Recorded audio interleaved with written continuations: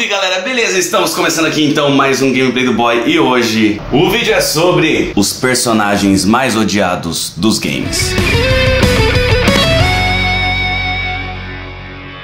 É isso aí, galera. Pra você que também acha que tem muitos personagens que não precisava ter existido, já deixa o seu like aí agora, porque o vídeo vai ser só sobre isso e o seu like ajuda o canal pra dedéu. Pessoal, esse vídeo não é pra falar exatamente sobre vilões, inimigos e etc que estão no jogo realmente para te atrapalhar e te fazer passar nervoso. Esse vídeo é pra falar sobre pessoas que estão ali pra te ajudar, mas acabam piorando a sua situação. Da lista inteira que eu vou passar aqui, eu resolvi colocar apenas um vilão, porque esse vilão é realmente um cara que estressa a nossa jogatina durante o jogo. Mas ele vai ficar mais pra frente, agora eu vou começar normal, na ordem da minha lista que está aqui no meu notebook, porque eu não tenho cabeça suficiente para lembrar de todos. Em primeiríssimo lugar em nossa lista temos Ashley de Resident Evil 4. Cara, fala pra mim se essa menina não irritou você também. Mano, é impossível você ter passado o jogo todo sem passar nervoso com ela. Ou ela está sendo sequestrada, ou ela está com medo, ou ela tem que fazer alguma missão sozinha e não tem arma nenhuma, ou você tem que esconder ela para poder fazer alguma coisa. Qualquer uma dessas situações, ela vai te gritar.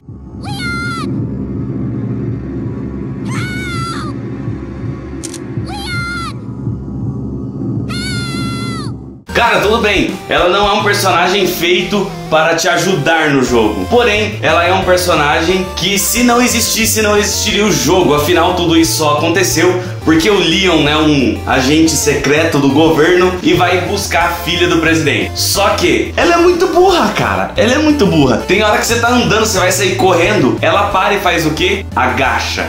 Agacha e fica esperando alguém pegar ela porque ela ficou com medo.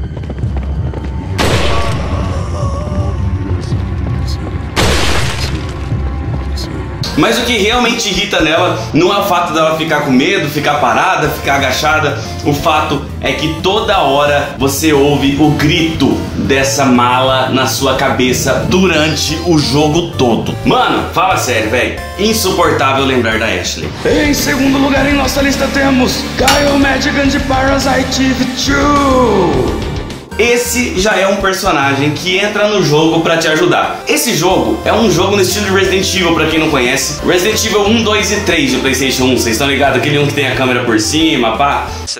Oh, então, já é um jogo from the hell, de difícil e de susto. Aí finalmente na hora que chega um cara que você fala, esse cara vai me ajudar. É um cara que tem panca, é um cara que tem coldre pendurado na cintura. Esse cara manja, velho. Esse cara vai ajudar o bagulho. Só que não. O que, que esse cara faz? Você tem que passar a cuidar da vida dele, que é minúscula. E sério, cara, eu não sei para que que ele tem uma arma. Tá aquele zum zum zum bicho pra tudo que é lado, gente atirando, bicho pegando, não sei o que e tal. O cara fica parado olhando pros bichos ou olhando para você enquanto você atira. Go next. Um, let's go this way. How about we do that? Raramente ele pega a arma dele e dá um ou dois tiros em algum bichinho. In this room. And there's another one. And he's dead, but I hit something else. I don't know what it Oh, well, he can just go in É um homem policial, tá? Contratado para fazer isso, destruir bichos. E mais, para te ajudar no jogo. Mas não, cara. Ele faz questão de fazer a vida dele acabar e dar um game over. Porque se ele morre, é game over. Em terceiro lugar em nossa lista temos o primeiro vilão, Nemesis.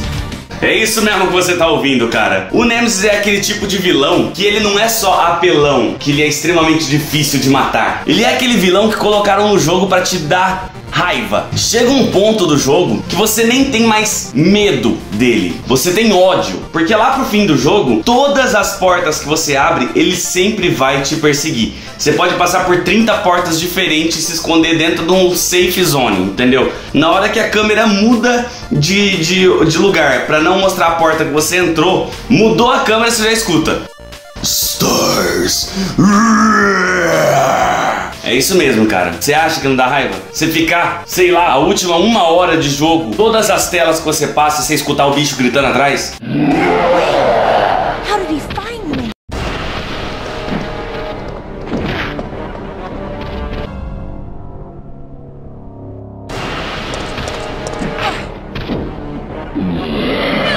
O problema não é nem o negócio de você assustar ou de qualquer coisa assim. O problema maior, mano, é você saber que o tempo todo você vai ter que ficar correndo e sem enroscar em nenhuma parede ou muretinha que tem no meio do cenário. O próximo da lista é Nave de Zelda.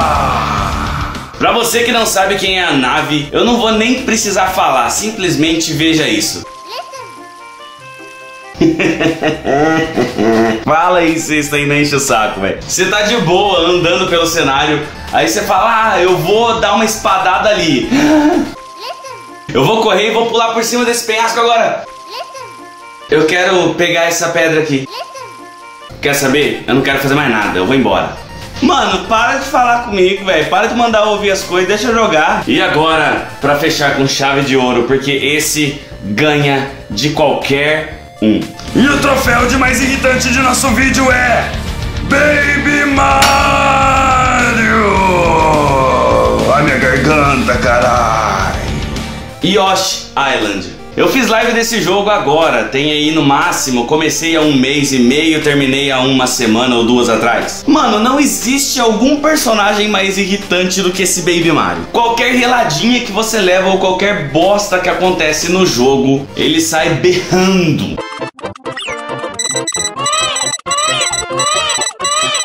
Mano, existe alguma coisa mais irritante do que um bebê chorando? Agora imagina isso, o jogo inteiro!